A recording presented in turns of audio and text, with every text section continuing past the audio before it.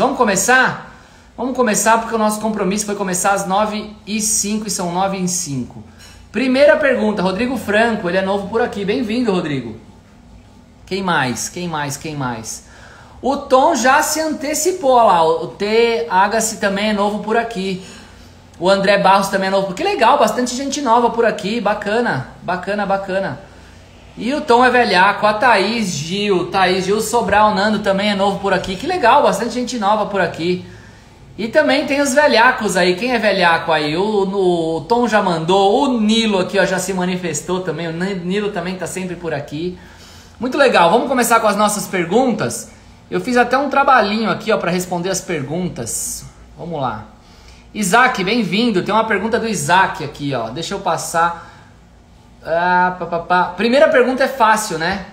Você ainda me ama? Lógico, lógico. Quem mandou essa pergunta sabe que eu amo ela muito. Eu vou passar ela até rápido aqui, porque não é o tema. Segunda pergunta. Puta, essa daqui não vale, meu. Não vale. Terceira pergunta aqui, ó. Quando vamos dar match e iniciar um relacionamento? Eu sou casado, né, pô? Tá aqui, ó. Com a Beatriz, ó. Ó o Marcelo falando aqui, ó. Bia! Tá vendo? Ó? Não dá. Não, não, esse não vai rolar. Não vai rolar. Quarta pergunta. Que massa, mano. Sobre perguntas e respostas. A que eu te fiz no outro dia, você pretende responder por aqui ou por lá mesmo. Eu recebi uma resposta, não vou é, falar o nome da pessoa, AB, que história é essa? não vou pôr o nome da pessoa porque não convém, a, resposta vale para todo mundo. É, mas eu, inclusive, copiei a pergunta da pessoa aqui, ó. E aí eu vou ler para vocês, vamos lá. É, fala aí, beleza? Boa tarde. É, posso te fazer uma pergunta sobre mercado de arte, galerias, mais espe especificamente sobre comportamento dos mesmos é, frente ao hiperrealismo brasileiro. Você é o único galerista que tem o contato, sou muito grato por isso. O mercado de arte mudou é, muito desde o começo do ano. Uh, sei que são muitos agentes envolvidos, mas como galerista, você vê uma reação positiva dele diante do hiperrealismo brasileiro, mais especificamente do desenho hiperrealista brasileiro? porque ainda não vemos desenhistas hiperrealistas no mercado sendo representados por galerias. É, dei uma olhada na SP Art desse ano e não vi nenhum desenhista hiperrealista brasileiro por lá. O meu caso, em ainda não ser representado especificamente, pode ser pela temática e pesquisa, por ser emergente e ainda não ter um portfólio é, com um certo volume de obras. Tudo isso, cara, poderia me dar algum conselho sobre isso, sendo que estou é, perto, mas ainda falta alguma coisa. Primeiro comentário que eu queria fazer, e aí várias pessoas vão se sentir representadas aqui, né? É, perguntas sobre o comportamento do mesmo perante o hiperrealismo brasileiro. É, o mercado, ele, ele não olha as coisas dessa forma como a gente acha que ele olha, né? O mercado não pega lá é, deixa eu pegar as, as, obras cubistas e eu vou tratar as obras cubistas é, de tal forma, as obras hiperrealistas e vou tratar de uma outra forma. É, então, é, tem uma. Tem uma. Há, há uma falsa impressão de que o mercado ele é um ser organizado, assim, e não é. é tem várias coleções que, que têm vertentes diferentes. Então, assim, a primeira, a primeira dica que eu te daria é que o mercado não olha dessa forma, né? O mercado olha para artistas e para trabalhos. É, independente do, do, do tempo artístico que esse trabalho é, né? E aí vem lá, o mercado mudou muito desde o começo do ano. Também não, o mercado não mudou muito desde o começo do ano. Desde o começo do ano a gente está sobrevivendo, né? E e, e, nenhuma mudança que é tão repentina assim a gente pode encarar como uma mudança definitiva. Lógico que uma pandemia é um, é um fator suficiente para você mapear de forma diferente algumas coisas. Mas você precisa esperar as coisas se assentarem, você precisa esperar o tempo passar e não é uma andorinha né, que vai, que vai é, dizer qual que é os rumos novos do mercado ou alguma coisa do tipo. Então é muito cedo ainda para falar que o, que o mercado mudou e etc e tal. E aí a pergunta vem: você vê uma reação positiva dele diante do hiperrealismo brasileiro? É, mais especificamente, é, diante do desenho hiperrealista brasileiro? Minha experiência com hiperrealismo, ela, ela é exclusivamente com o Giovanni, que na verdade o Giovanni hoje ele nem é única e exclusivamente um artista hiperrealista. Ele tem trabalhos que são que são só figurativos, né? Ele não é mais hiperrealista. O que qual que é a minha impressão? O trabalho hiperrealista, ele tem uma uma verve, né? Ele tem um, um apelo que é de identificação imediata. As pessoas olham aquilo, elas se veem identificadas naquilo. É, mas para isso não precisa nem ser o hiperrealista. Um trabalho realista já causa isso. E isso naturalmente faz, faz com que as pessoas deem os próximos passos na interpretação desse trabalho. E que a aproximação do público com o trabalho figurativo, realista e hiperrealista, ele acaba sendo um pouco maior. Agora, é... no caso do artista que me mandou esse trabalho, é, existe um problema no portfólio dele. Existe um problema. Eu não olhei o portfólio dele, tá? Aliás, eu nem faço isso. Eu não olho, eu não avalio, não converso com artistas só pela conta do Instagram. Eu peço que a pessoa me mande um portfólio. Por quê? No caso desse artista, tinha muita coisa no portfólio dele ou no Instagram dele que eu não destacaria como trabalho, não como trabalho de um artista, é, de um artista visual né? Principalmente um artista inserido nesse contexto da contemporaneidade, né? É, tinha lá uma, um desenho incrível, hiperrealista do Neymar, um desenho incrível, hiperrealista de uma mulher, de um homem, de pessoas que parece que são retratos. E o mercado de arte, esse mercado onde a Oma Galeria está inserida, ele não olha muito para esse tipo de trabalho. Ele olha para trabalhos é, que tenham, que sejam discursivos, que sejam trabalhos para além do trabalho manual. Então não é uma. É, talvez você esteja buscando abrigo no lugar errado. Né? Esse circuito, e não tem certo ou errado, tá? Esse circuito é um dos possíveis circuitos. Então tem artistas que também tão, são artistas incríveis, é, são artistas bons artistas e tal, mas no mercado da arte contemporânea ele não vai encontrar mercado. Porque ali existem algum, algumas, algumas é, dispositivos que precisam ser cumpridos para que aquele trabalho seja aceito. Por exemplo, é arte discursiva, goste ou não goste. Né? O, o Roger está falando aqui, poética, história, história do artista. Ou seja, tem uma série de coisas que a gente pode ir para outras, para outras, é... enfim, para outro lado, né? Eu não quero me estender muito nas respostas porque tem uma, um monte de perguntas aqui, mas é, no seu caso, né, ele fala assim, ainda é, não ser representado, é, pode ser pela temática e pela pesquisa. Concordo 100%. Então, se você, por exemplo, quisesse que eu desse um, um, um, uma resposta especificamente sobre o seu trabalho, eu pediria para você recortar o seu portfólio e me mandar para eu olhar o que, que você considera trabalho e o que você não considera trabalho. E aí, em cima disso, a gente consegue é, ver o, o, quanto você tá, estaria perto ou distante desse, desse momento acontecer. E aí esse momento, né, eu vou até voltar numa pergunta aqui, é, eu fiz uma brincadeira aqui, quando vamos dar match e iniciar um relacionamento? É, esse match é uma expressão que eu uso muito. Então, é, você tem que criar uma relação com galerias que falem a mesma linguagem do seu trabalho. E aí, quando você é, fala, puta, essa galeria tem vários artistas no casting dela, ou tem um, dois, três, sei lá, no casting dela, que tem a ver com o meu trabalho. E aí você pode insistir num relacionamento com essa galeria. Era a dica que eu te daria. Vamos pra frente? É, vamos lá, mais uma. Essa necessidade de explorar, de explicar, validar a obra, entende? Onde fica a experiência com a obra? Aí tinha aqui. É, vou voltar lá. De novo, essa necessidade de explicar e validar a obra, ele é uma, ele é um dispositivo, né? Ele é uma, não sei se a palavra certa é dispositivo, mas ele é uma, um atributo da arte contemporânea. Então a arte contemporânea é uma arte discursiva, goste você ou não. Então, assim, eu sou uma pessoa que me conecto muito com o que tem para além do imagético, né? E aí eu fui usando várias imagens de trabalhos aqui. Esse trabalho, por exemplo, que está ilustrando, que é o da, que é da, da Vânia Mignoni, ele é um trabalho que se você for avaliar é, o desenho, por exemplo, é, ou mesmo a pintura, embora seja uma pintura que eu particularmente gosto, acho incrível, mas tecnicamente ela pode ser uma pintura cheia de problemas. E a gente não está falando disso, né? Ou o trabalho da Vânia é, não, fala, não fala sobre isso. Então essa, essa necessidade de validar é, a, as obras, ele, ele é, um, ele é uma, uma, uma, um dispositivo desse nosso tempo atual. Aí o Marcelo tá até é, falando da continuação da pergunta, né? Dos textos curatoriais que tentam ser mais do que a obra, essa necessidade de validação. Isso eu acho um porre, né?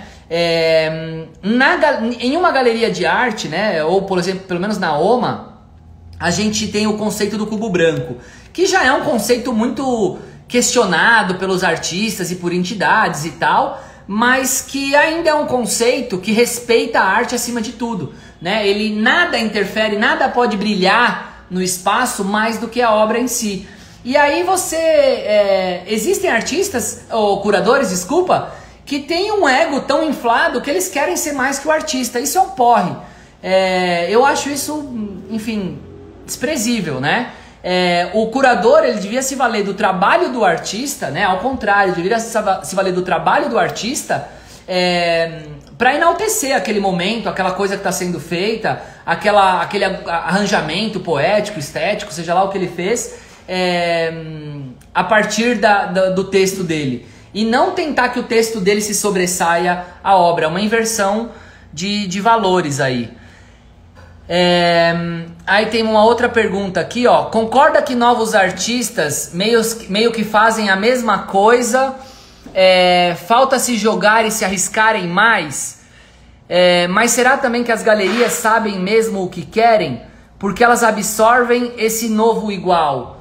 É, cara, tem artista, é, tem artista que que de fato não sabe o que ele quer, não sabe, ele tá seguindo uma tendência, seguindo, é, se aproveitando de algumas ondas para surfar algumas ondas. Mas aí é que tá uma diferença fundamental. Essa pessoa, né? Será que ela é um artista de verdade, né? Eu vou voltar aqui na, na outra pergunta. Oh, oh, desculpa. É, os, os, artistas que, que, que fazem mais ou menos a mesma coisa Será que eles são de verdade artistas? Ou será que eles são artistas que, que vale a gente se debruçar sobre eles? Ou será que são coisas passageiras e que não vão perdurar mais do que aquele período em que ele estiver vivo e produzindo?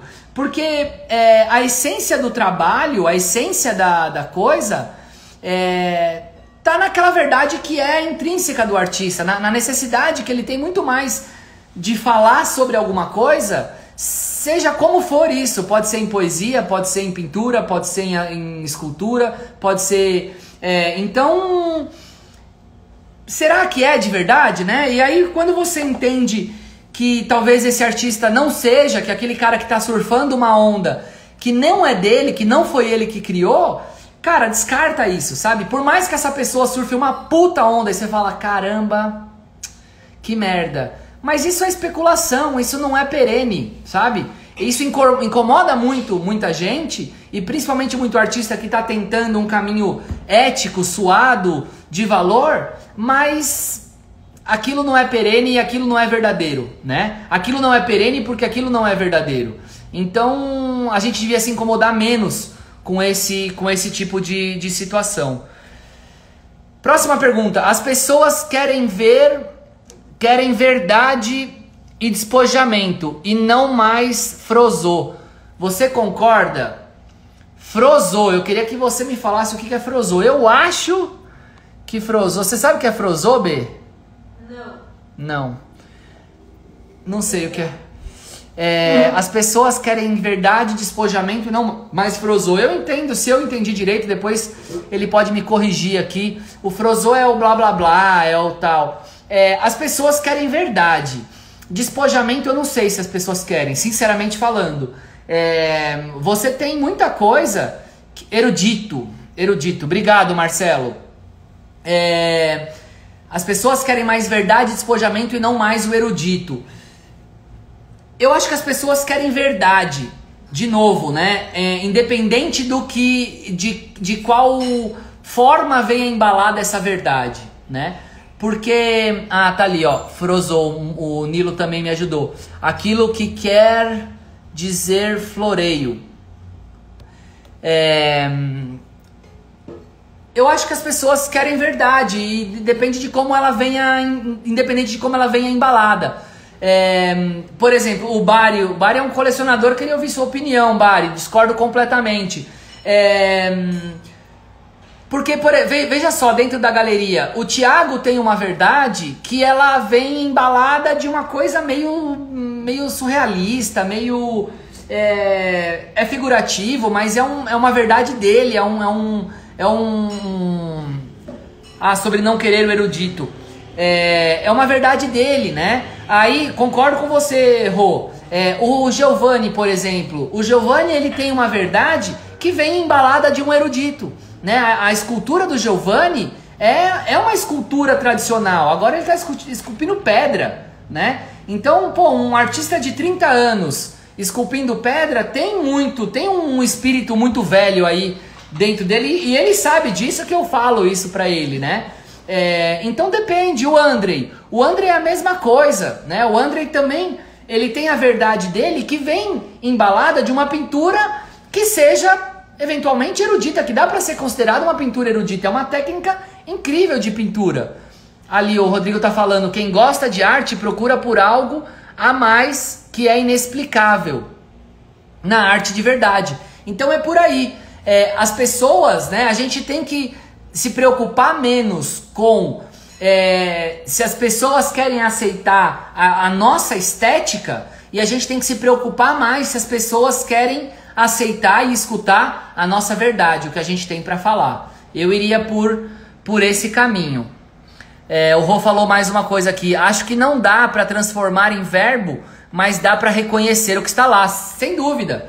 Né? O, o que é inexplicável numa obra. É, a obra você olha e você é impactado por ela. Tá aí um colecionador falando.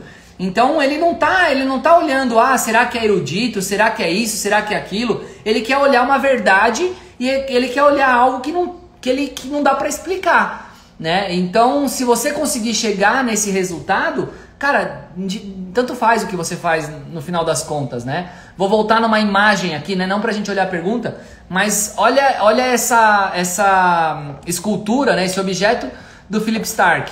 Não dá pra, pra dizer que as pessoas não quiseram isso em algum momento, né? É, vamos lá, próxima pergunta. Eu acho que na arte hoje, é, o, o erudito, blá blá blá, não convence mais. As pessoas querem verdade. É a continuação da pergunta. É exatamente por aí, Marcelo. Você, a gente tá alinhados também na, na resposta. Vamos lá, outra pergunta. Como foi sua aproximação? É, sua aproximação uh, e recepção no início, quando abriu a galeria, já que você caiu de paraquedas vindo de outro ramo. Quem te ajudou? É, a quem você pediu ajuda e quem te ajudou? Vou voltar no começo da pergunta. A minha recepção foi horrível, né? Como foi a sua aproximação e recepção? Quer dizer, depende da forma, né? Ela foi horrível. Eu lembro de uma pessoa muito influente aqui na região, é, uma mulher de uma cultura incrível, que quando eu fui levar o convite de inauguração da galeria para ela, ela pegou o convite assim e fez assim: Ah, uma galeria. Aí olhou assim, meio com desprezo, pôs na mesa. Nossa, já vi tantas abrirem e fecharem. Falei, olha, obrigado, né, pela parte que me toca. Quer dizer, existe, principalmente acho que pela idade e é, eu não sei quais fatores fizeram ela julgar dessa forma, mas é uma, uma pessoa absolutamente inteligente, é, do meio, né? Mas teve esse tipo de reação. E a gente não acha, mas isso fecha muitas portas, né? Isso desestimula muito as pessoas. Então, de fato, né? Eu caí de paraquedas de outro ramo e no começo quem, quem me ajudou é, bastante foi o Douglas Negrisoli, foi um curador que é daqui da região, que em algum tempo depois a gente acabou pedindo, é, perdendo o contato por outros motivos. O Marcelo falou aqui amarga, é amarga mesmo, Marcelo, é, ou foi amarga, né? Pelo menos naquele momento. Mas você veja só, é, o Douglas me ajudou lá no começo, né? É, depois a gente acabou perdendo o contato. É, mas quem muito me ajudou também foi, o, foi a minha organização, foi a, outros atributos que eu tinha das outras áreas que eu vim antes, né? Eu vim de planejamento, eu vim de, de estratégia, eu vim de gestão de projetos. Então isso me ajudou muito a, a, a fazer as coisas as coisas caminharem, né? É, e hoje em dia é, a gente tem esse mesmo tipo de receptividade dentro do mundo da arte ainda. Então, por exemplo, há meses atrás, há dois, três meses atrás, eu já falei isso aqui no, no, no, no nas lives, eu ouvi de uma galerista, de uma das principais galeristas, na verdade eu não ouvi porque ela não teve coragem de falar pra mim, mas ela falou para uma outra pessoa que chegou até mim que eu não tinha nascido para ser parceiro dela, eu tinha nascido para ser funcionário dela.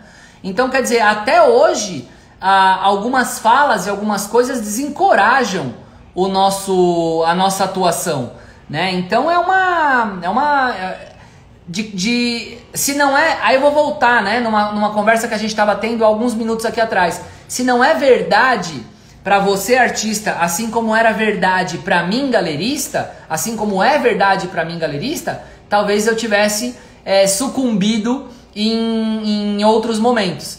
Então eu acho que essa é a, a, mensagem, né? Respondendo até a pergunta do Marcelo, o que te fez não desistir? É a necessidade, é a verdade, né? É, é, é o que é verdade para mim. Eu tenho outras atividades que eu faço também em paralelo à galeria, são duas outras atividades, é, mas a minha menina dos olhos, a minha paixão, ela é a galeria. Né? Eu tenho muito prazer nas outras coisas que eu faço, mas a minha paixão, sem dúvida, é a galeria. Que mais? Deixa eu ver é, as interações aqui. Escrita ABC tá dando um alô. Que legal, bom vê-los por aqui. Clóvis, Ale Barazino também é da região. Que legal. Renegado. Uh, quem mais? Luciano Trevisan. Muito bom. O Bari, o erudito sobreviveu ao tempo e não por acaso. Tem razão de falar. O Tom, bastante, vemos isso refletido em todas as engrenagens, essa é verdade, legal. O Marcelo falou palmas pro Douglas, muito bom. A Isis está por aí, bem-vinda Isis. Rita Pérez também está por aí, Rita é uma querida, a gente sempre conversa no paralelo aqui. A Liliana também, a gente sempre conversa por aqui. Muito bom, muito bom. Vamos para a próxima pergunta? Mais uma. Quais metas é, do sócio educativo da OMA e o que você vem fazendo neste momento. Cara, é, o sócio educativo. Sobral não, concordo com a sua visão das coisas, muito legal. É, quais as metas do sócio educativo da OMA e o que vem fazendo nesse momento? É, Tom, o sócio educativo da OMA não tem uma meta, né? É, a gente fala, a gente fala muito que hum, se tiver uma pessoa transformada, valeu a pena o nosso trabalho. E isso é de fato verdade. Porque o sócio educativo da galeria, ele é uma, uma coisa que a gente faz de forma gratuita.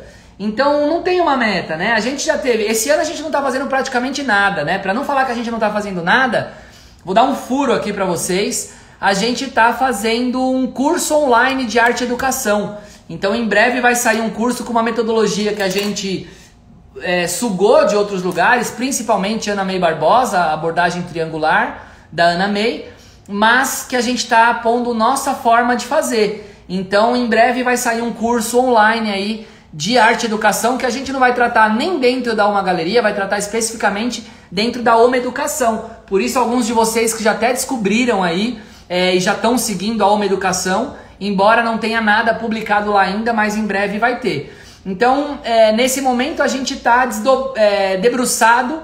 O educativo da galeria, é, que são duas pessoas principalmente, estão focadas em fazer esse, esse curso de arte e educação que vai sair pela Oma Educação. É, é o que a gente está fazendo nesse momento porque as escolas estão fechadas, enfim, e essa interação não está sendo, não tá sendo possível. Marília, querida, oi, oi, oi, Thaís, querida, outra Thaís, muito querida também. Michel também tá por aí. Michel Sena trabalha com a gente lá na galeria. Aliás, o Michel me ajuda muito. Michel é um braço direito. Muito bom. É... Quais as projeções da OMA para os próximos anos? É... Eu escolhi uma foto da riqueza aí para falar disso. é... Érica Burini, as lives têm um, um papel pedagógico e educativo muito importante também. Verdade, Érica, verdade. Mas as lives a gente não faz especificamente dentro da Oma Educação ou dentro da, da do Oma Cultural, né? As lives a gente fala sobre tudo, sobre mercado, embora eu entendo que tem assim um papel de formação muito importante. Vamos lá, quais as projeções da Uma para os próximos anos? A gente tem uma meta, no, nos, a gente tem, lógico, metas mensais de venda, a gente tem uma série de coisas que a gente controla, metas anuais, a gente tem distribuição de participação né, lá dentro da galeria, tem uma série de coisas que a gente faz, mas isso todas as empresas, aliás, muitas empresas fazem, é, mas enquanto meta de institucional é, é participar de feiras internacionais e a gente tem uma estratégia para isso e a gente quer participar de feiras de ponta. Então a gente quer participar de Freeze, da Arco, da Tefaf, quer participar da Basel, quer participar de feiras internacionais, mas de feiras de ponta. É, e para isso a gente tem a nossa, a nossa estratégia. Isso é uma visão, né? Isso é uma meta de médio prazo, que seriam aí nos próximos cinco anos da galeria, né? De três a cinco anos, participar de uma feira internacional de ponta. Uma meta de longo prazo que a gente tem é construir o nosso espaço próprio. Né? Hoje a casinha onde, onde a galeria tá, ela é uma ela é uma casa alugada, né? E a gente já fez muita benfeitoria naquela casa, muita, muita, muita benfeitoria. Infelizmente vocês não conseguem mais entrar no Google Street View e ver as fotos da casa como ela era. Porque antes era um exercício muito bacana entrar no Street View e ver a casa como era e ver a casa como é hoje. É, mas a, a, gente já fez muita benfeitoria. Agora nós compramos um caminhãozinho. Cara, vocês não fazem ideia da alegria que esse caminhãozinho tem me dado. É, aliás, eu e o Michel somos os que mais nos divertimos com o caminhãozinho. A gente fica a cada hora olhando uma coisinha para fazer. Cara, vamos trocar o friso Cara, vamos agora fazer não sei o que, vamos pôr isso filme, vamos adesivar, vamos isso, vamos aquilo, vamos trocar os pneus, vamos. Então, enfim, são pequenos passos, mas são muito relevantes para nós, né? E uma, uma meta de longo prazo, de 10 anos, eu trouxe duas metas aqui para falar com vocês, é construir o nosso espaço próprio, que já está pronto, ó, ele só está aqui, ele já está pronto, mas ele está na cabeça, só falta materializar agora. É, a Denise está falando. Aliás, o caminhão ficou super bacana adesivado, ficou lindo mesmo. O Tom também falou, ficou lindo. O caminhãozinho, cara, é muito legal, muito legal. E eu prometi para os meus sobrinhos que eu vou levar eles para andar atrás do caminhão da galeria. É... Rodrigo, tenho admiração pelo seu trabalho, meu amigo. É um orgulho a OMA como galeria brasileira. Sei, aliás, tenho certeza de que a OMA está no caminho para ser uma das mais importantes do Brasil. Que legal, Rô. Que legal. E o Rô é um que acompanha de perto, acompanha outras galerias também, então vale muito, vale muito esse esse elogio. Obrigado. O Nilo fez meninos e seus carrinhos. carrinhos, parabéns pelo caminhão. Obrigado. Escrita vez lançaram os grafites do baú do caminhãozinho. Você sabe que eu pensei isso, viu? Mas aí eu ia querer desmontar o baú e trazer para dentro da casa, aí não ia funcionar muito. A Thaís deu um nome pro nosso homem, é o Omavrum. Omavrum, gostei, Thaís. Gostei. Muito bom, muito bom. É, vamos lá, próxima pergunta. O que você acha do artista que faz trabalhos iguais ao de outro artista, mas não intencionalmente? Eu acho que é um artista. Se for igual, é um artista que pesquisou pouco. Né? Não dá para fazer um trabalho igual de outra pessoa. Então, cara, você tem que fazer, você tem que dar a sua, a sua identidade. Nenhuma pessoa é igual, não tem porque você fazer um trabalho igual o de outra pessoa. Então, ou é preguiça, ou é pesquisou pouco. É, então, vai, vai desdobrando, vai refazendo esse trabalho até você chegar numa solução diferente. O Michel gostou do Omavrum aí, ó. Meninos e seus carrinhos. Gostei da hashtag, hein? Omavrum, Omavrum eu gostei, Omavrum. Porque Omavrum, ninguém vai descobrir o que é o Omavrum. Omavrum é uma boa hashtag aí para nosso, nossa live de hoje, hein? Vamos para a próxima pergunta? É, o que, que, vocês estão achando? Tá fazendo sentido para vocês aí? Já passamos meia hora aqui respondendo perguntas. É, eu vou fazer uma pergunta, uma pergunta gospel aqui, ó, que eu preparei até uma performance para responder essa pergunta. O Clóvis falou aqui, até os temas acabam sendo diferentes, não tem como ser igual. É isso aí, Clóvis. Eu vou por essa pergunta aqui, depois eu volto para do certificado de autenticidade. Nilo disse que sim, o Tom disse que sim. Quem mais? Tá fazendo sentido? Muito bom, muito bom. Fico feliz. A galera tá curtindo, tá lá no coraçãozinho, coraçãozinho vale. Estúdio Casa Ímpar, beleza. Aí me perguntaram aí se Romero Brito é arte. Eu queria que vocês me dissessem se Romero Brito é arte ou não. Sobe aí, ó, sobe aí. Quem acha que sim ou quem acha que não.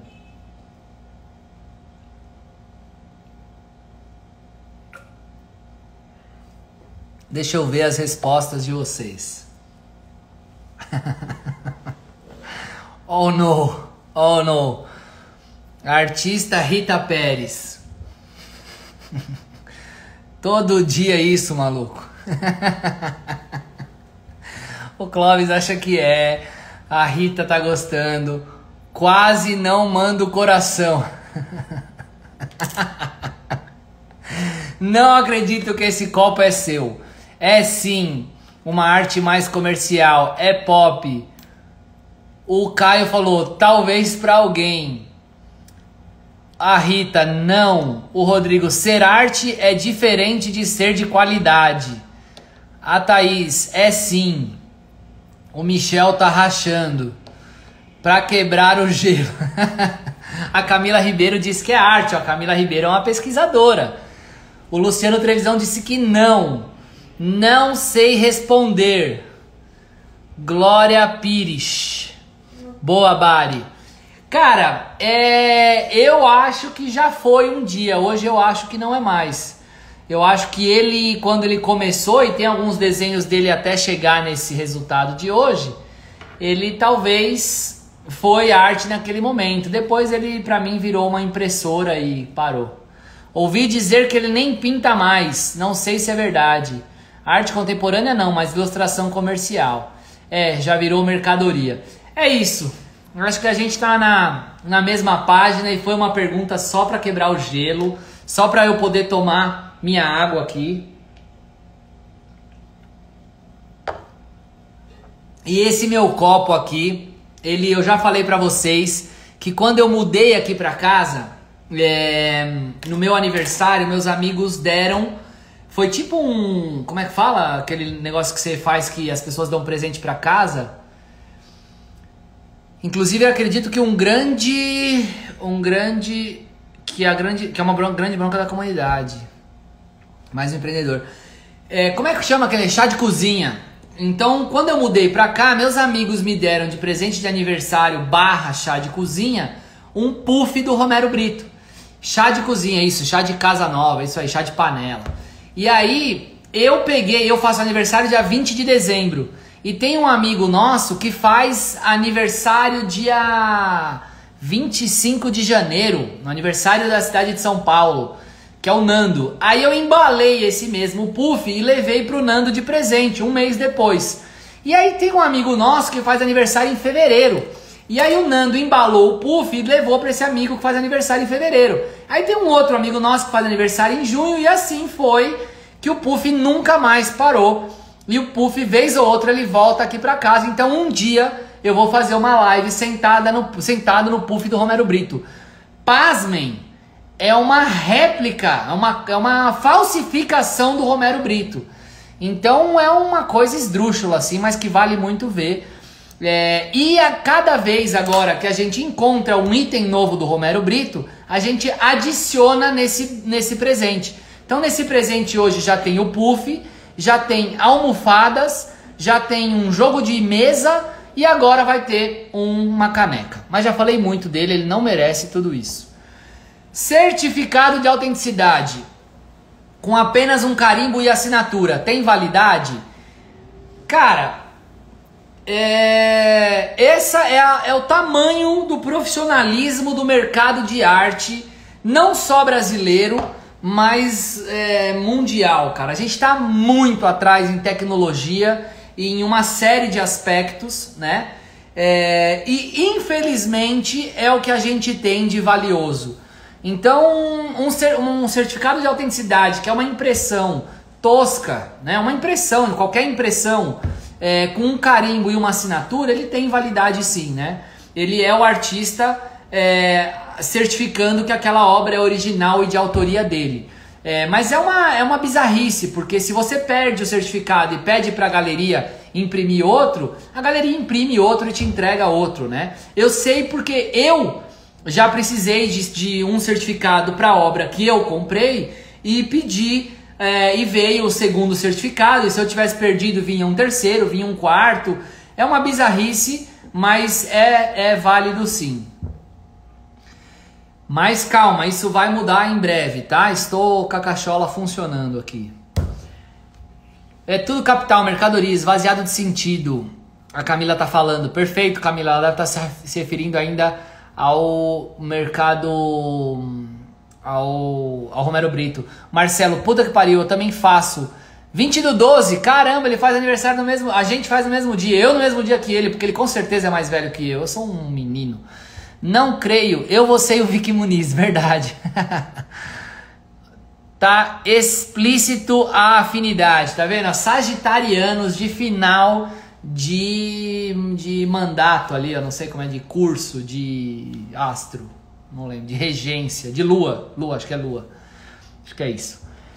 É aceitável adicionar diferentes estilos de trabalho no portfólio? Exemplo, oito abstratos e oito street art? É aceitável. É... Depende do que você chama de abstrato, é... isso pode te, te prejudicar, né? Esse portfólio com oito trabalhos abstratos e oito é... street art, porque o que, que você faz? Você faz só isso? Né? A gente está exatamente em cima do muro. Eu não sei se você está mais para a direita, mais para a esquerda, porque outros trabalhos talvez norteariam e me ajudariam a entender, por exemplo, o seu portfólio. Você tem que ser, pôr no seu portfólio o que você entende como trabalho. Então, é aceitável? É aceitável. Mas eu teria esse tipo de leitura. Principalmente se o abstrato for tipo um. Sei lá, for tipo um, um impressionismo, for um expressionismo, for um Pollock, por exemplo. Aí você tem do lado um Pollock e do outro lado um street art. Você fala, meu, o que essa pessoa está fazendo, né? Eu, eu leria dessa forma. Então, toma cuidado com, com isso. Aceitável é se você tiver consciência do que você está fazendo. Próxima pergunta: qual a quantidade ideal de um trabalhos para compor um corpo de obras? Essa pergunta é boa. Não existe uma quantidade ideal, mas existe uma quantidade que valida aquela série sua. Então aquela série pode ter três trabalhos. Então se você fala assim, ó, principalmente para apresentar um portfólio, por exemplo, se você tem quatro séries que você quer apresentar para uma, uma, galeria, por exemplo, então da série 1, põe dois, três, quatro trabalhos. Da série 2, põe dois, três, quatro trabalhos. Da série 3, dois, três, quatro trabalhos. Da série 4, dois, três, quatro trabalhos, acabou, mandou o portfólio. Quer dizer, se você tem ali esse, esse, essa quantidade de, de, de trabalhos que conseguem dar conta de responder, né, de sintetizar o que a sua série tem, o que a sua série fala, três, quatro trabalhos pode ser suficiente. Agora, depende do que você quer falar, vamos supor que você é, também tem uma coisa na sua produção que é a compulsividade. Porra, produz e põe 50, põe 200, né? Trabalho do Laerte Ramos, por exemplo, que é um, um artista que eu trabalho. É, ele tem os trabalhos de grande formato que ele faz uma tonelada. Ele tem uma série de gravuras, eu nunca lembro o número exato, mas são mil, mil, 1.300 e não sei quantas gravuras. Imagina que são 1.300 e não sei quantas matrizes. Sabe? É, é, é bizarro, assim, é muita coisa. Então, depende, depende do que você. do que, que esse sobre o que, que esse trabalho fala, né? Não no sentido poético da coisa, mas é, o que tem por trás da, o que tem por trás ali. O lance é a consistência, o Rô tá falando, consistência, sem dúvida. Consisten o que, que vai te mostrar, o que, que vai mostrar para outra pessoa que aquilo tem uma consistência no trabalho que ele está fazendo. O Laerte é doido, a Rita tá falando. é isso aí. Rodrigo Andrade coloca abstrato configurativo de boa, verdade. Verdade, exatamente. Boa referência, Júnior.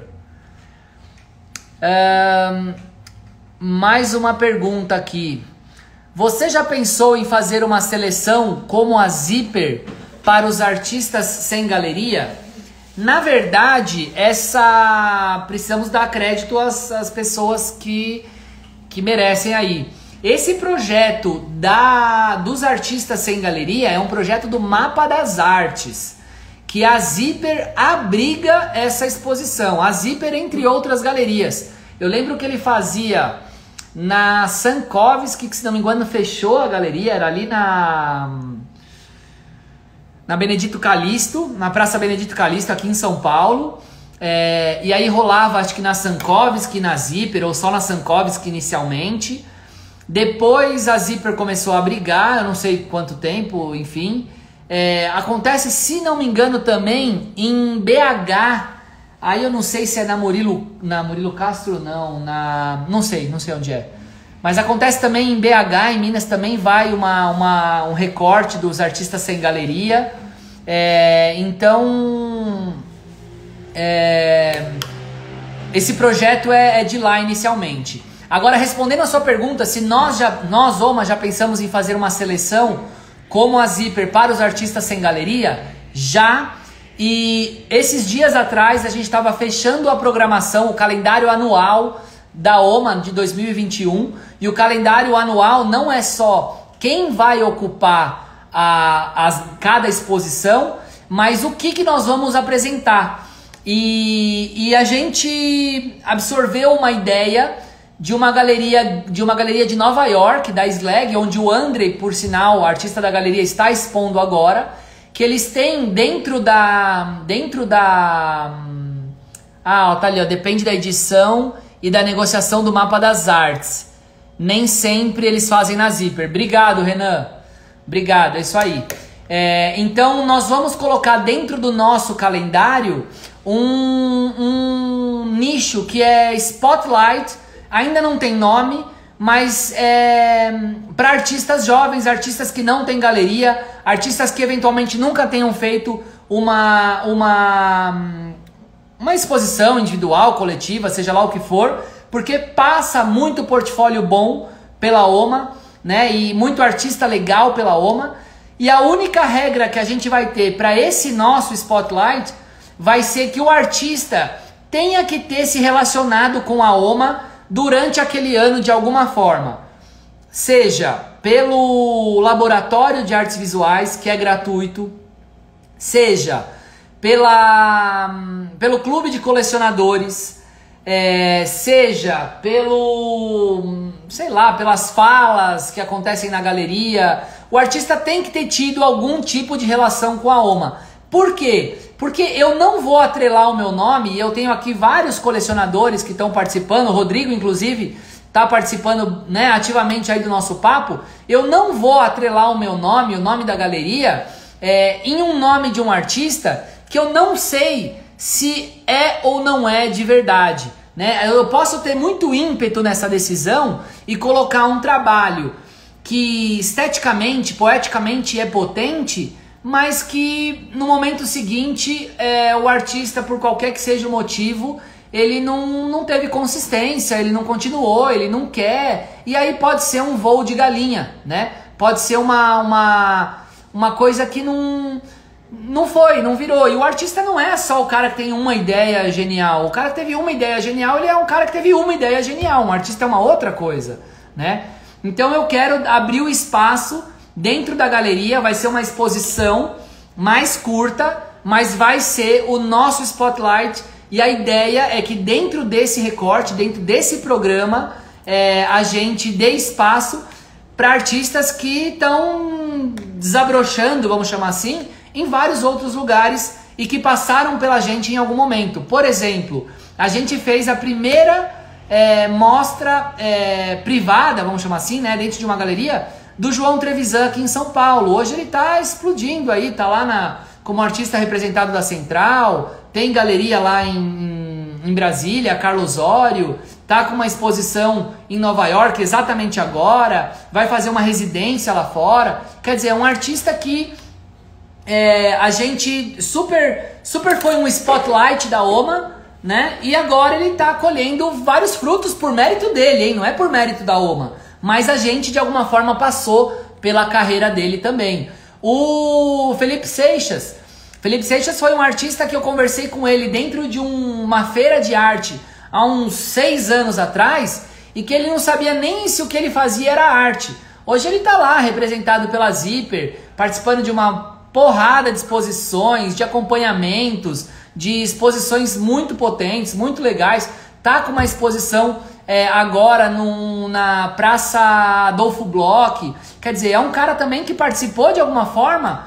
É, poderíamos ter aproveitado o Felipe como um spotlight da OMA, né? Quem mais? É... Puta, vários, vários. É... Sei lá, o Adriano Franchini, acho que foi a mesma coisa. O Bruno Novaes, que depois virou um artista da, da, da própria galeria. Ah, o Renan Marcondes aqui. O Renan Marcondes, acho que a primeira performance que a gente fez é, dele foi, sei lá, uns 4 ou 5 anos atrás. Eu nem me lembro, acho que foi uns 4 ou 5 anos atrás. E o Renan tem, tem uma trajetória institucional, principalmente, muito legal, premiado. É, quer dizer, também foi lá atrás um spotlight da galeria. É, e vários outros, vários, vários outros. Então isso é uma algo que a gente quer explorar de uma forma um pouco melhor. Então temos sim essa, essa ideia de fazer o. É, não vai ser uma seleção de artistas sem galeria, mas vai ser uma seleção de artistas jovens. A galeria não vai ser necessariamente o divisor, vamos chamar assim. É, lá pela OMA, o, por exemplo, o próprio projeto de curadoria são projetos que têm artistas incríveis, incríveis, né? O Ricardo que está aqui é, também já ganhou prêmio em salão, já aconteceu um monte de coisa com o Ricardo. É, feira, vendeu 10, 15, 20 trabalhos em, na primeira feira que ele participou. Quer dizer, também é um sucesso comercial, também é um sucesso, né? É, mas também teve uma premia, premiação dentro de um salão, quer dizer, é um artista que também de alguma forma é um spotlight da OMA. Então, quer dizer, tem, é, a gente quer explorar melhor essa, essa, história, essa história aí. Deixa eu interagir aqui um pouco com vocês. Estou expondo com o Trevisan. Ah, que legal. Ah, é verdade, Leandro. Você também tá lá. É, são três. É você, a você, o Trevisan e eu esqueci agora o nome da outra artista. Me ajuda aí, me ajuda aí. Muito legal. É, artista consistente. Isso aí, Thaís. Roger, existe ex-artista? Cara, não acho que exista ex-artista, porque se ele é hoje um ex-artista é porque ele não era um artista. É, isso é ótimo, muito legal. Ah, eles devem estar, tá, o Michel, a Thaís deve estar tá reagindo ao, é, ao spotlight nosso, né? É, a Thaís perguntou: é, a quantidade de tiragem grande não tira a exclusividade da obra? Ou é inter interessante popularizar a obra? Thaís, cada mídia é, tem uma especificidade. Assim, lógico que não são regras rígidas mas existe um, uma, uma linha, um fio condutor, vamos chamar assim. Então, por exemplo, é, escultura, as pessoas dizem que 2, 3 PAs e 5 a 8 esculturas, eles ainda consideram uma obra única. Então isso não você, te permite alcançar mais colecionadores, mas não é não populariza, vamos chamar assim, não diminui a obra. É, quando você vai para uma serigrafia, Serigrafia já é uma impressão de grande tiragem. 100, 50 serigrafias é uma impressão é, ok. Quando você vai para uma matriz, por exemplo, em pedra, é, é uma tiragem menor também. Né? E aí você tem a PA, você tem a prova de impressão, você tem a prova do impressor. Né? Então você tem algumas provas que também são depois peças que podem ser usadas para exposição, pode ser peças para ficar pro acervo do artista ou até para ser comercializada. Tem gente que tem verdadeiros fetiches é, no PA, né? É, e é, enfim, de fato é talvez um pouco mais especial, mas é igual, exatamente igual às outras obras, né? É, então, enfim, vale a pena falar especificamente para uma ou outra mídia que você esteja, esteja procurando. O Rodrigo comentou: o André produz numa velocidade impressionante, principalmente para a complexidade que faz é, e com uma puta consistência. Concordo total. O André é bizarro. É, eu sempre falo. A Lídia Lisboa, isso aí, Leandro, obrigado. Obrigado, obrigado, obrigado. É, os mais velhos não vão poder? Vão poder, Marcelo, do nosso spotlight, vão poder desde que esse artista não tenha tido uma aparição expressiva, principalmente no nosso circuito aqui de São Paulo. Então essa, essa é a ideia, porque a gente quer ser esse spotlight e a gente não, não tem pretensão de ser, olha, os grandes desbravadores do Brasil. Não, não é nada disso. Muito menor. É, é aqui na nossa, na nossa região ter essa, esse alcance. Tom, vai ter parte 2? Puta, Tom, acabou meu, acabou meu minha água aqui, bicho. Tô brincando. É... Não, não vai ter parte 2. Falar sozinho aqui é difícil pra caramba, meu. Deixa eu ver mais pergunta. Aqui, ó. Mais uma pergunta. Essa daqui veio agora, hein? Você tem um mínimo de artista pra galeria ou quem chegar para somar você coloca pra dentro? É... Cara, eu Tomás, trabalho com uma quantidade de artistas que eu consiga dar conta. Porque. Hum, porque seria muito cômodo, né? E aí eu vou falar uma coisa para vocês. Eu vou pôr aqui o Vroom Móvel, que hoje é a nossa live. Hoje esse é o nosso. Por aqui, ó. É, só para deixar o fundo de tela aqui da nossa, da nossa perguntas e respostas.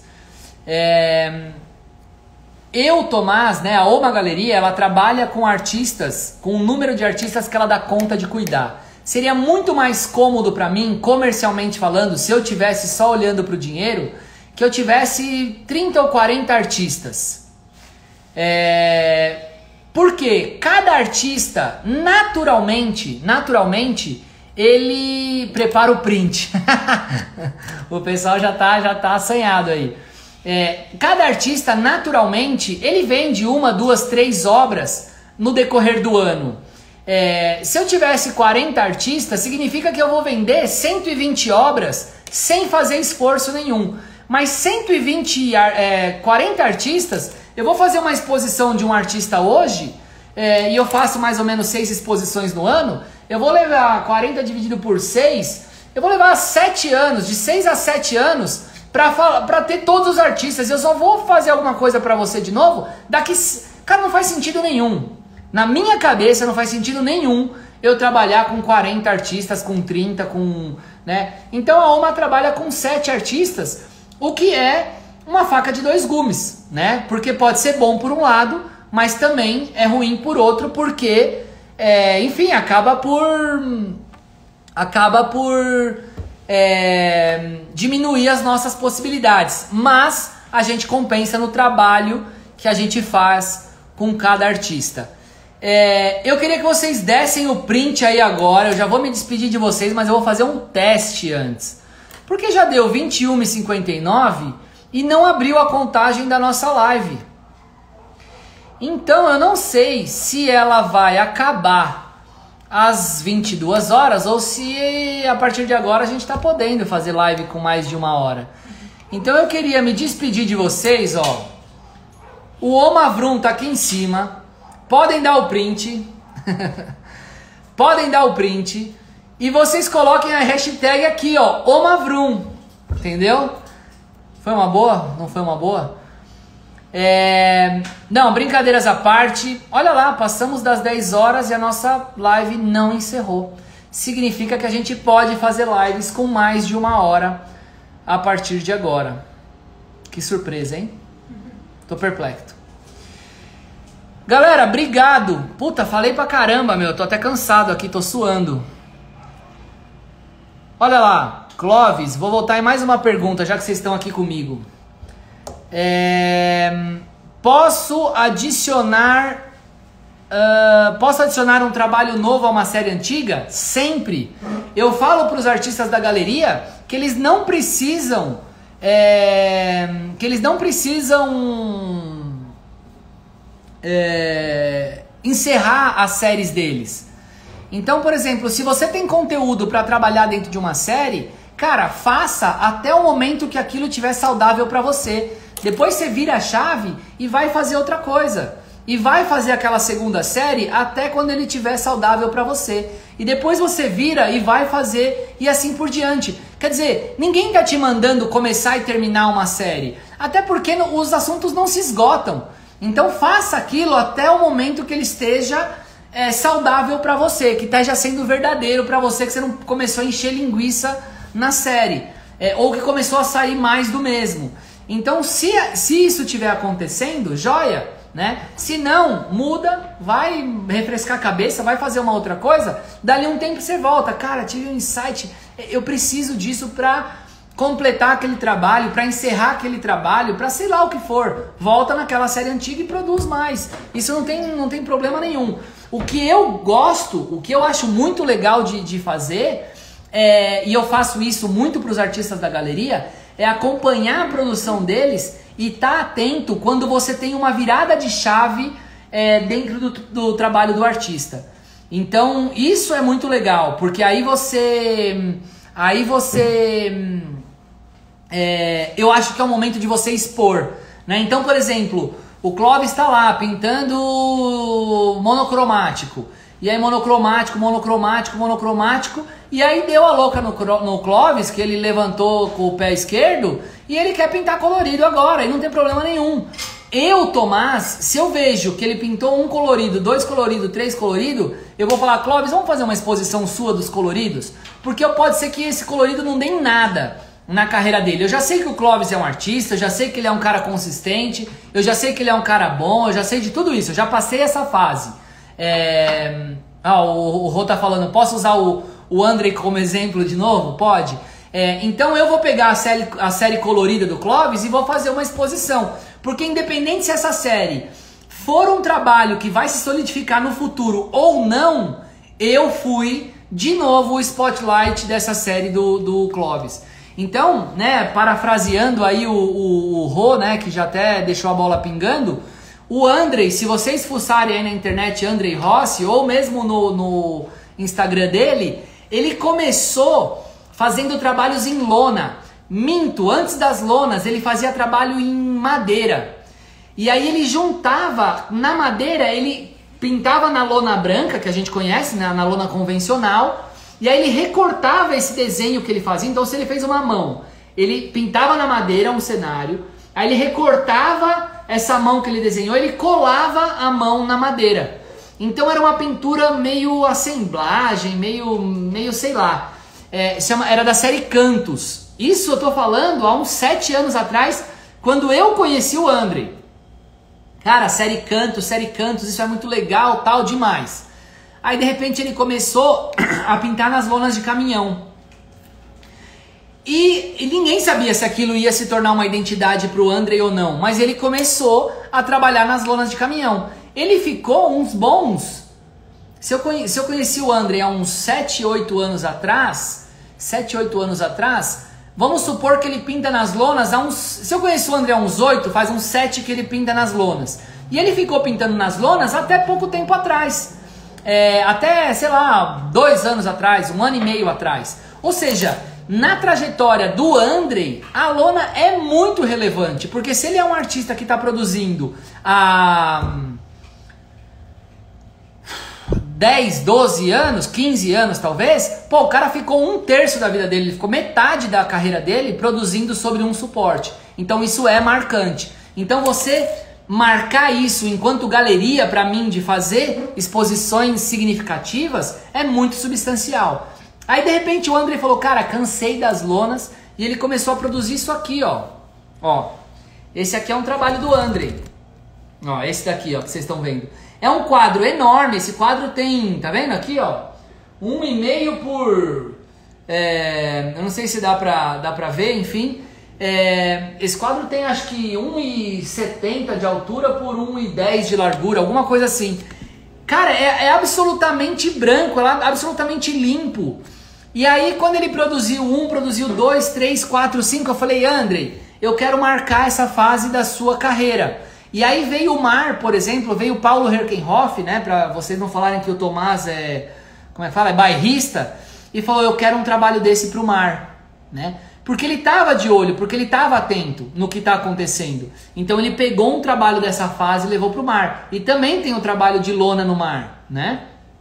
E aí é, o André ficou pouquíssimo tempo pintando assim, pouquíssimo tempo. Ele ficou talvez um ano, dois anos no máximo pintando assim. E ele começou a fazer uns trabalhos com cenário. Também na lona branca, né? Também nessa lona do algodão cru ou do linho, enfim e ele começou a pintar cenários. Então era uma retomada, talvez, lá daquela série Cantos, mas não mais sobre o suporte sujo, madeira, é, né, é, retirado de, de, de, algum contexto, mas sobre um suporte limpo e preparado. É, e agora ele já fez em um ano, e isso é uma coisa que o, que o, que o Rodrigo falou, em, sei lá, em dois anos, a última exposição do André, acho que foi no meio do ano passado, que foi quando eu quis marcar esses dois momentos dele, da tela branca e do cenário.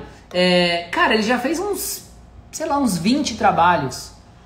É, é muita coisa, sabe? E trabalhos dessa dimensão. E, de novo, né? Pô, vamos marcar o, o colecionador quer, o colecionador quer as várias fases. Por que, que eu tô falando isso? Ah, por causa da, de você voltar numa série e se um dia o André quiser pintar lona e ele tem muita lona dentro da casa dele, nada impede. Né? Se um dia ele quiser voltar e pintar o branco, nada impede. Se um dia ele quiser voltar e pintar a série Cantos, nada impede. E assim por diante. Então, acho que era por isso que a gente estava falando disso. Júnior está dizendo, o André é muito inspirador. O Rô está dizendo, o branco valorizou muito o traço e a técnica dele, sem dúvida. Minha irmã tá por aí, a Lígia. Oi, Li. Muito bom. É, quem mais está por aí? Tem questões que sempre voltam mesmo, o Júnior tá falando, sem dúvida. O Anderson tá dando um alô, ô Anderson. Luciana Duarte Faria, que delícia de resposta. Eu acho que era a resposta justamente do Clóvis. Que legal, Luciana, legal que fez sentido para você. Geraldo. Isaac, respondi umas perguntas do Isaac aí. Depois, Isaac, você me manda no inbox lá se fez sentido para você. Tom, Thaís, muito bom. Gente, tô cansado. 10 e 10 aqui. É... A Rita tá dizendo: Eu não consigo me livrar da paixão pela madeira e pelo giz. Tá vendo? Imagina que duro deveria ser se alguém dissesse que você tem que parar de produzir no giz e encerrar essa série ou na madeira e assim por diante. Beleza? É, vou salvar assim no perfil, vai estar tá aqui dentro do nosso IGTV e ela sobe na semana que vem no nosso no nosso YouTube. Combinado? E também vai subir nas próximas semanas no nosso podcast. Então, ó, vamos lá prestigiar a gente, hein? Entra lá no YouTube, dá um. Como é que é no YouTube? É seguir, assinar, seguir, não lembro. Vai lá no YouTube, manda o YouTube para os amigos. que mais tem que fazer? Deixa o like lá nos vídeos. Deixa o vídeo em maratona lá enquanto você cozinha. Põe no, no vezes dois e aí dá para assistir todos os vídeos lá de uma vez só. Beleza, pessoal? Brincadeiras à parte, obrigado. É, 10 e 10 e vocês aí ainda comigo. Agora eu vou lá ficar com a B, tá bom? E, e é isso. Dá o último gole aqui no meu copo. Não sei se vocês deram print, tá?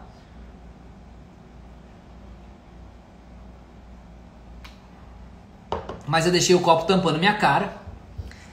E é isso aí, gente. Obrigado por hoje. E quarta-feira que vem estamos juntos de novo. Já tem o tema da quarta-feira que vem.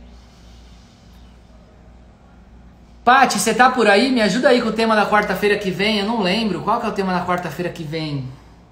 O tema da quarta-feira. Ah, o tema da quarta-feira que vem é a live com a Luciana Brito, da Bact. Nós vamos falar sobre associações, sobre a Associação das Galerias de Arte. É... Demais, demais. Então, quarta-feira que vem, espero vocês. E a competição está lançada. Obrigado, Tom. Puta, o Tom. O Tom eu vou contratar o Tom, meu. Tem a competição de quem fizer a expectativa mais criativa. Nos primeiros minutos da live eu vou falar sobre isso, hein? O Tom e o Marcelo já largaram na frente de vocês. Eu não tô querendo é, como é que é, incitar essa disputa, mas o Tom e o Marcelo já estão na frente, tá? Vocês vão precisar pedalar mais porque eles estão brabo nessa disputa. Beleza? Conto com vocês. Quarta-feira que vem a gente se vê. Beijo em todos. Tom Secretária Fitness. Beijo em todo mundo. Até quarta que vem. Valeu.